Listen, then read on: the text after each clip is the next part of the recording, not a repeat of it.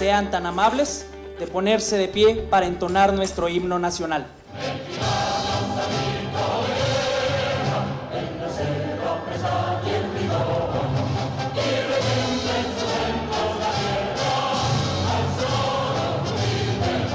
Me da mucho gusto saludarlos a todos, pero de manera muy especial a Agustín Castilla Marroquín, diputado por el octavo distrito, con motivo de su segundo informe de actividades como miembro de la sexagésima primera legislatura. Es un honor estar aquí porque en la labor legislativa son desgraciadamente realmente pocos los que logran posicionar los grandes temas no solo para la ciudad, sino para el país entero.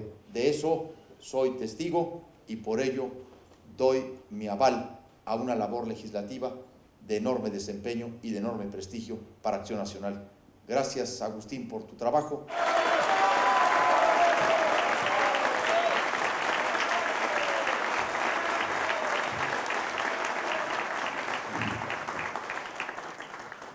Muy buenas noches, me da mucho gusto estar aquí en este ejercicio ciudadano de rendición de cuentas. Nuestros fundadores, los del Partido Acción Nacional, decían y decían muy bien que el Partido Acción Nacional debería de ser una escuela de ciudadanos. Y precisamente se enmarca en este contexto el ejercicio que hoy estamos atestiguando.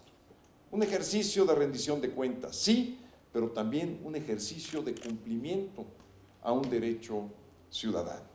Muchas gracias. Muchas gracias, senador.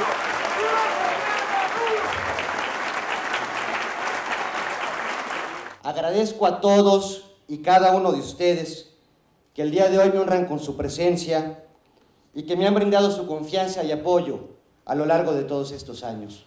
Muchísimas gracias.